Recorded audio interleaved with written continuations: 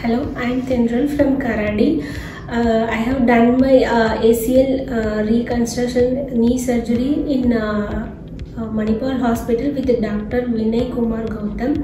Uh, here I am sharing my experience with uh, the hospital and the doctor. So initially when I, this happened to me while I'm playing volleyball, the injury happened to me. So after that I have done the MRI scan and I have I came to know my ACL was fully complete ligament and uh, Dr. Vinay is suggested to do the surgery but initially I was very frustrated mode and state. But Vinay, uh, Vinay has uh, made me very comfortable and he given all the details about the surgery. And he done the very new technique of arthroscope uh, technique and uh, the surgeries uh, went very well.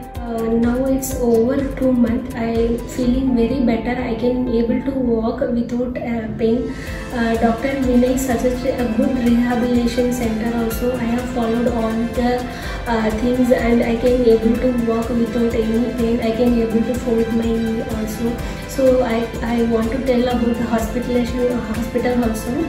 Uh, during my hospitalization, the Manipal hospital room was very clean and neat. Uh, the staff was very uh, uh, taken care, well, well taken care and uh, they have I, I, whenever i'm feeling pain i called them they helped me a lot.